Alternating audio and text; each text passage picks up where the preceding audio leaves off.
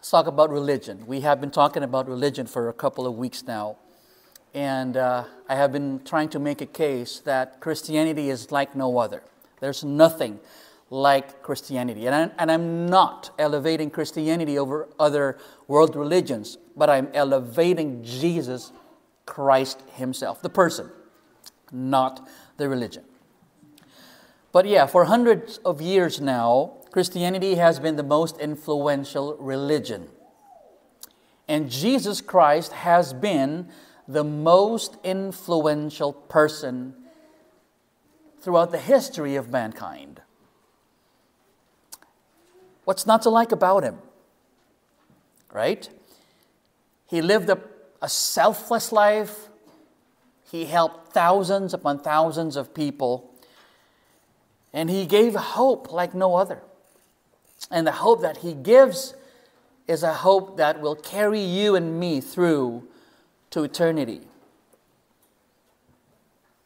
But in the early century, first century, when Jesus was ministering here on earth, we can learn a thing or two about why people come to him and why people reject him. So, with no further ado, please be on your feet. We'll be reading from Mark chapter 3, verses 7 to 12.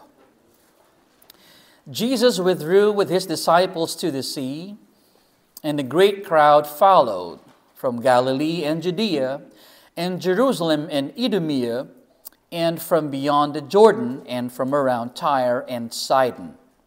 When the great crowd heard all that he was doing, they came to him, and he told his disciples to have a boat ready for him because of the crowd, lest they crush him for he had healed many, so that all who had diseases pressed around him to touch him.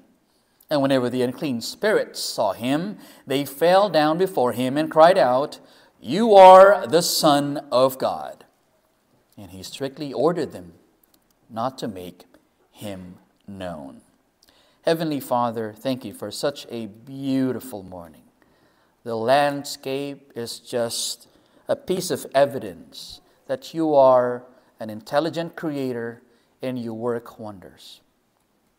And it's not just a beautiful sight to see, it is beneficial for all things because you are our creator, you provide for our every need. And for that, we're thankful. As we learn more about Christ, may we strive to be more like him in our speech and acts and choices. Help us become more effective in our God given mission to be your ambassadors to the world. First to our family, then to our neighbors, then to the rest of the community and the world. Thank you, Father. In Jesus' name, amen. Please take your seats. This message is called Disciples, Desperation, and demons. Okay, let's talk about what we discussed last week. There were two items we uh, talked about. First, false religion makes one devout but deadly. And second, true religion makes one merciful and compassionate. Okay, let's talk about what's going on around the passage, the background of it. The book of Mark follows with an account of the Lord Jesus and his disciples moving away from the religious leaders and Herodians and then returning to the sea.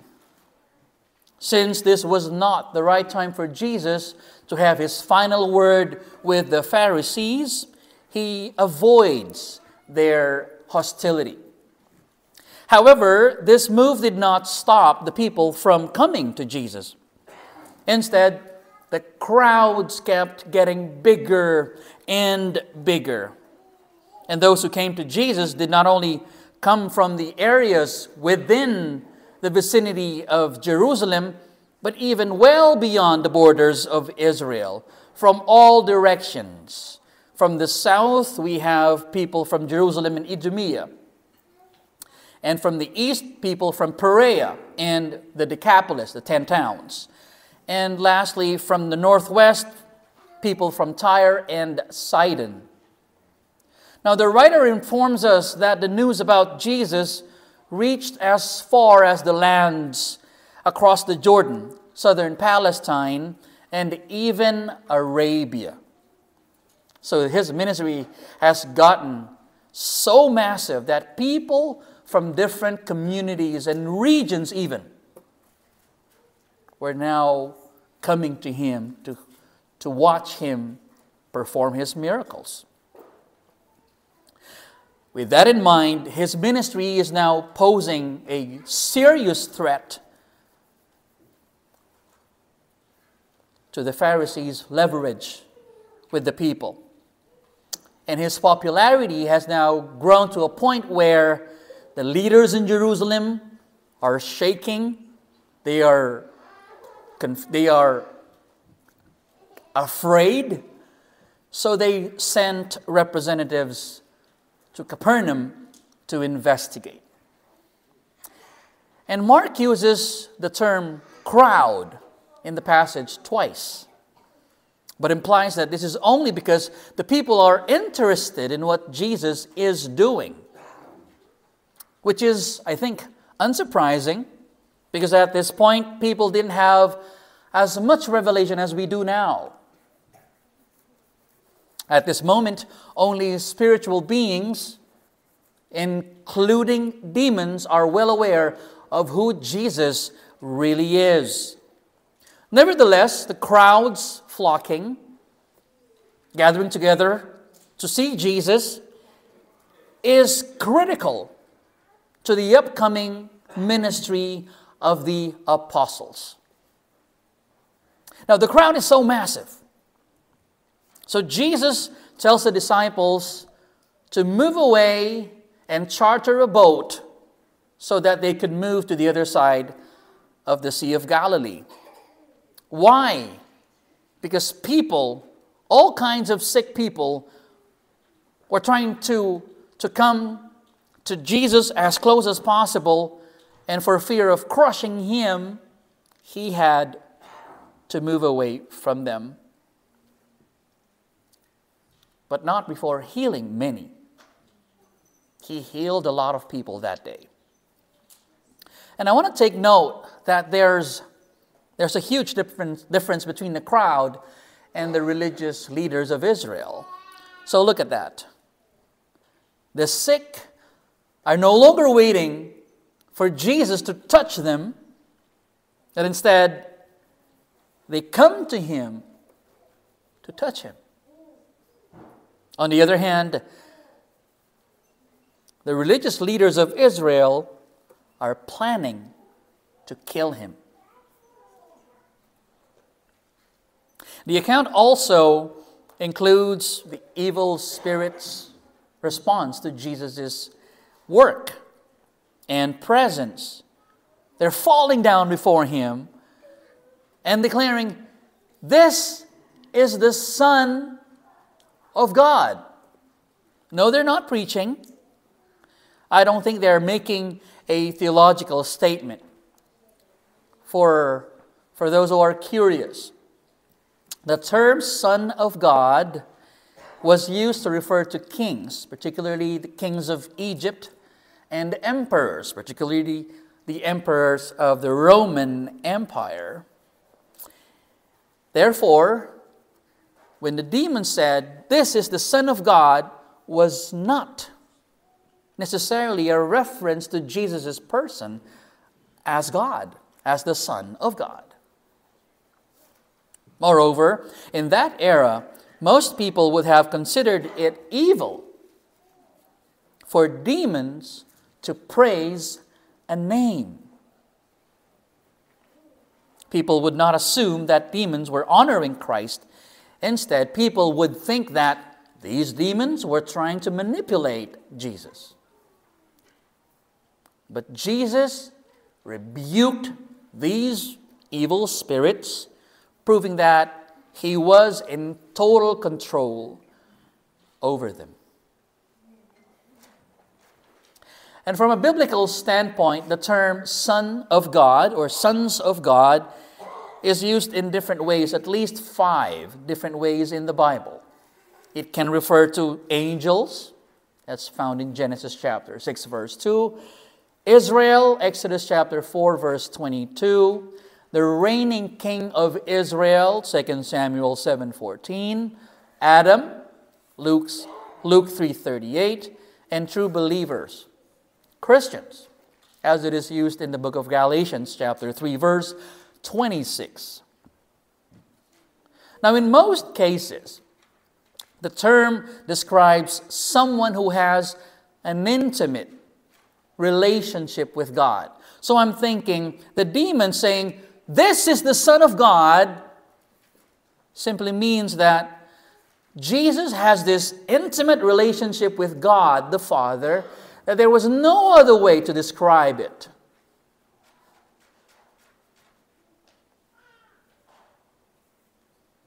However, they cannot stand in the presence of Him, so they fall down.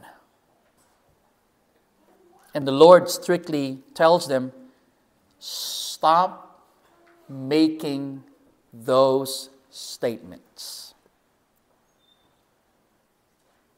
And another, another curious thing that I would like to make or, or put emphasis in is the word or the term strictly ordered strictly ordered.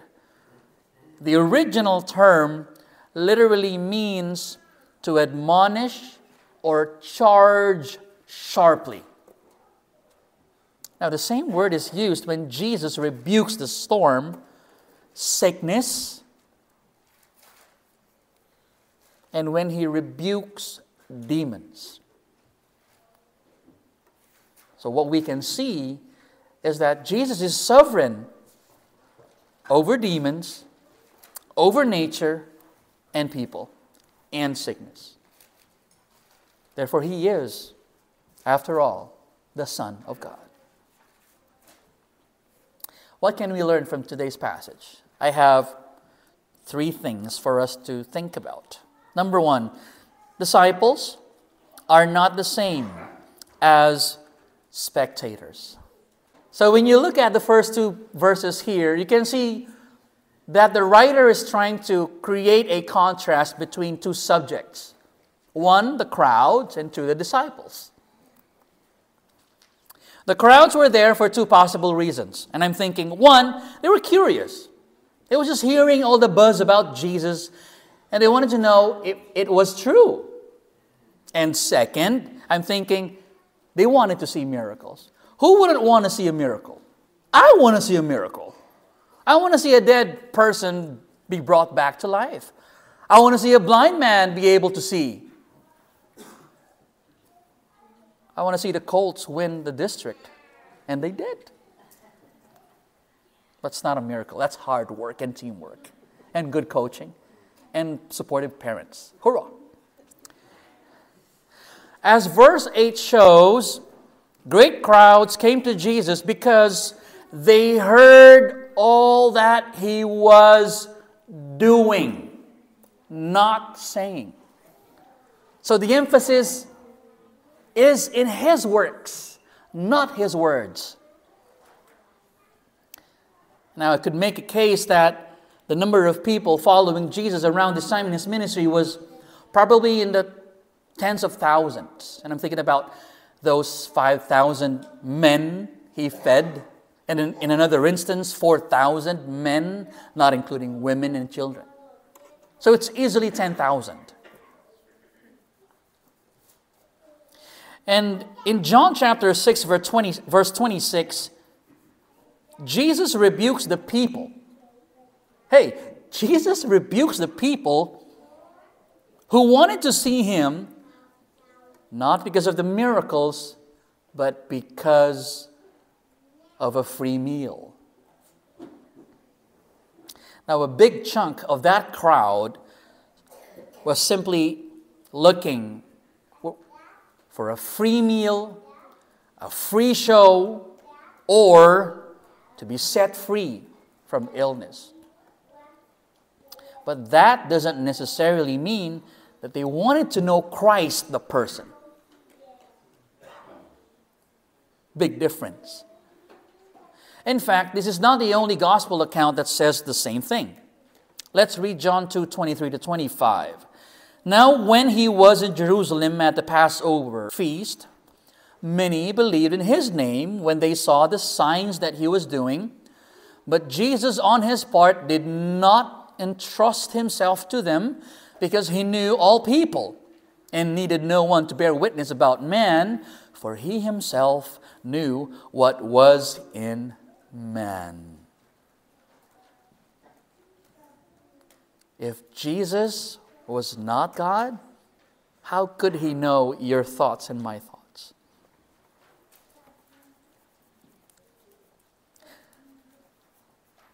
Let's shift the focus on the disciples. Did you notice that Jesus asked the disciples to get a boat so that they could get rid of the crowd? Did, did you notice that? That's the Lord giving his disciples something to do, an assignment. In other words, that's a ministry. Get a boat. Now, he didn't give that privilege to the crowds, he gave it to his learners, his pupils. And one clear sign that you are a disciple of Christ is that God gives you something to do. Please ask your neighbor, do you have something to do?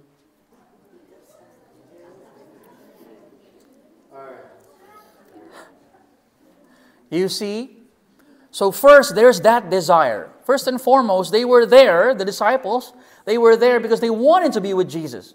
They left their, their jobs, they left their family because they wanted to follow Jesus. And now, Jesus, seeing their loyalty, gives them something to do. In this case, to get a boat. So, how do you know if you're a disciple or not? There's that desire. But then there's also that designation. God gives you something to do in His house. The sad truth about the church today, and this is just my observation, and it's, it's not strictly uh, an observation of our church, it applies everywhere. Okay? So, one thing I've noticed about the church is that, and this could hurt, brace yourself. A lot of people in churches today are just a part of the crowd, they're not disciples. It's reality. Statistically speaking, only 20% of a church's population actually take part in the ministry. And I'm talking about church ordained, God given ministry. Now, I appreciate preaching to a full church, don't get me wrong. Please don't, don't misquote me on this. I, I want you to come here. I want you to invite your family over. I want you to invite your friends. And those kids who come to Awana, I want to see them here on a Sunday morning. But more than that, I want us to realize the weight of Jesus' words when he said, The harvest is great, but the workers are few.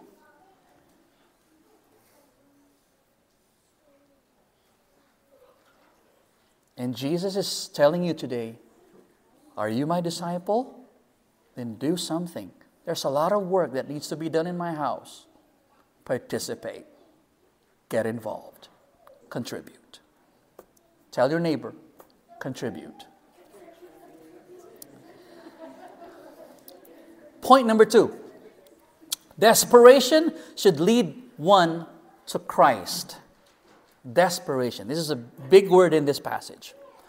Now, during the time of Jesus, as we can see throughout the Gospels, poverty, sickness, corruption, all those things are prevalent. They were normal. Now, that goes without saying, the political and economic conditions were far from ideal. It was bad. Therefore, a vast majority of the people were desperate for healing. They couldn't afford a doctor.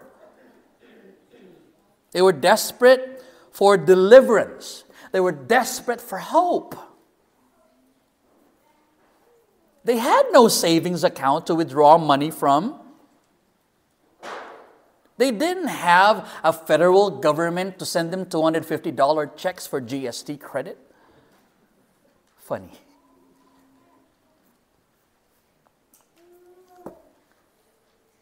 They didn't have family members to ask for help because those people themselves were in need. It was a point of desperation. It was hard. That's why those people, when they heard about Jesus and everything he was doing, hope erupted in their hearts.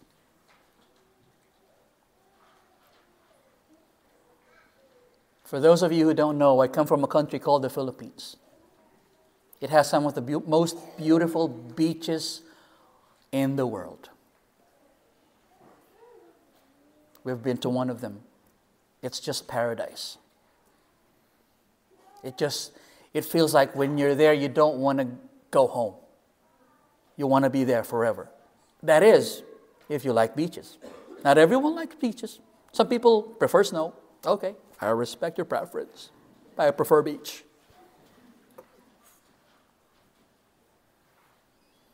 Our situation back home, it's not very different from how the Bible presents Israel, first century Israel. Poverty, calamities, corruption, and a lot of other factors are undoubtedly some of the reasons why the Philippines is one of the poorest poorest and yet most religious countries in the world. We're the only Christian country in Southeast Asia. And we proclaim Christ. And we teach the Bible in our public schools. We teach children to, to pray in public schools pastors like myself, I was allowed to preach in campuses, and I did that. I preached to thousands of students. It was a huge, huge privilege. Because of the political situation and economic condition of the country, people are desperate for hope. And our faith plays a critical part in our survival as a nation. Because we know our hope does not rest in our government, in our own strength and connection, but God. God alone. Because we understand that without faith, we are doomed. And I understand no one wants to be in a state of desperation. No one wants to be there. We love our comfort so much that we do everything in our power to keep it that way. We want life to be as convenient and comfortable as possible. We have things that people can only drink of. I mean, dream of, not drink. They cannot drink your John Deere's, but they can only dream about it. Our farmers use their bare hands for farming. Some manual tools, but tractors, those are just for the big players. But if you're someone who is already dealing with unimaginable life circumstances, you should be able to hear God more clearly. Your knees should shake to the point that they bend and seek God. Again, point of desperation should lead you to Christ. There's nowhere else to go to. There's no one else to turn to. Jesus is your best bet, if I could use that word.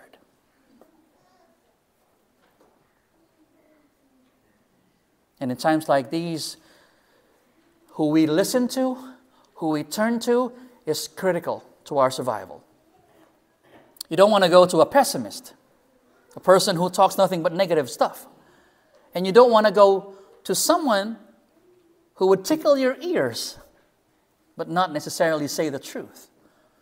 You want to go to someone who can help, someone who is willing to help. Matthew 11, 28 to 29. Come to me, all who labor and are heavy laden, and I will give you rest. Take my yoke upon you and learn from me, for I am gentle and lowly in heart, and you will find rest for your souls. I know that even though finances are not really a big problem in this part of the world, I know that human hearts in this country, in this community, are desperate for hope. And I'm telling you today, right now, without a shadow of a doubt, that real hope is only found in Jesus Christ. Your bank account, there will come a day that it's not going to matter. Your properties, as many as they are, they will come to a point that they won't even matter. They can't even buy another day of life when you're fighting for your last breath money won't matter. But faith will produce so much joy in your heart, and you will welcome death as something that will give you the greatest joy because once and for all you will see your King. The guy you have been singing to every Sunday morning, you will meet him face to face and call you his child. Isn't that amazing?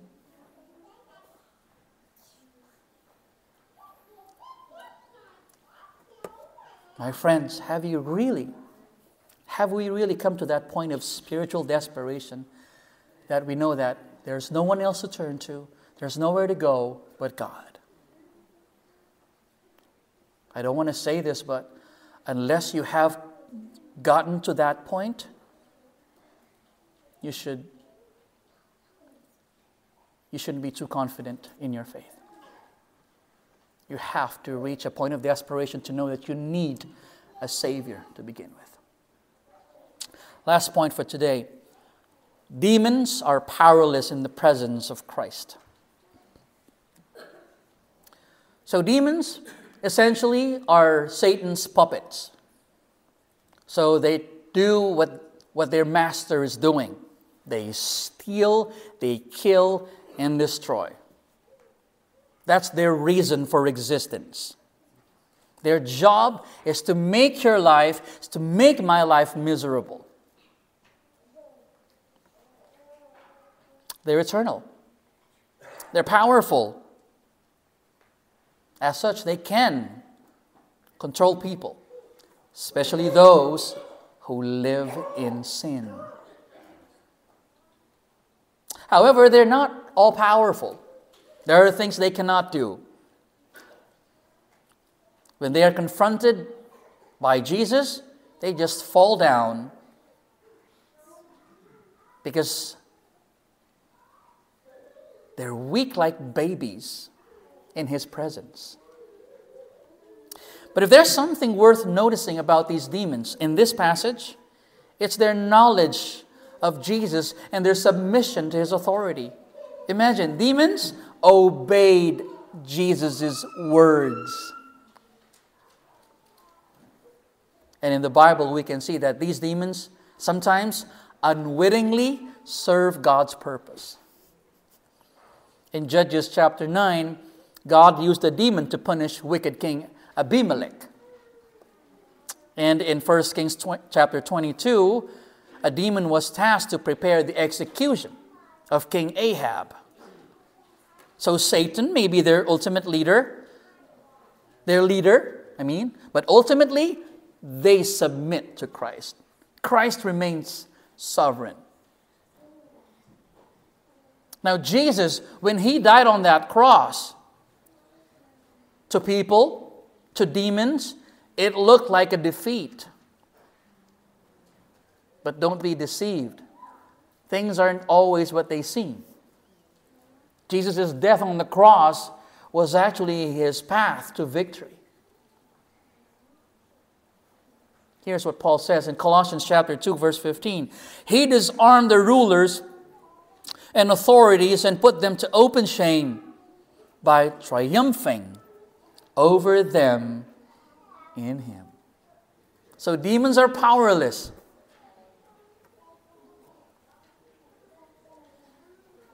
They only become powerful when we give them a reason to. When we live in sin, we give them a foothold. And they're going to use that weakness, they're going to use that sin to manipulate us. But, my friends, let's refuse to be manipulated. We have a mind of our own. We have the Holy Spirit. We have the Word of God. We have Jesus interceding for us. We can say no to a life of sin. Do you want to live a victorious life? Say amen if you do. Do you want to live a life where you don't have to worry about, about your life, yourself living a double life? You're, you're living a holy life on Sunday, but the rest of the week you are not so holy. The only way for you to do that is to honor Christ in your life Surrender. That's the big word here. Surrender your life to Him. Surrender your sins to Him. Surrender your future to Him. And every day, each morning, is going to be a day of purpose and meaning and joy and peace. But I'm not saying that we'll always win. Obviously, we don't. But we know that God will never disown us. Even when we're not faithful, He remains faithful because He cannot deny who He is. God is true and faithful.